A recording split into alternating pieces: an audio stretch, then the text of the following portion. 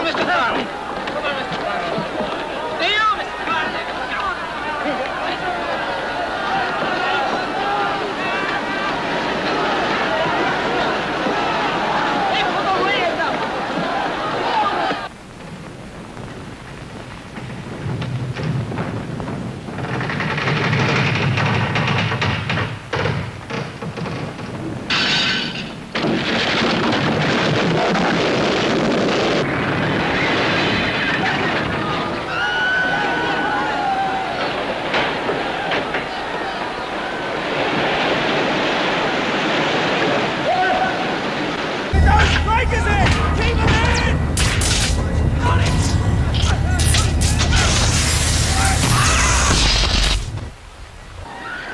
Thank.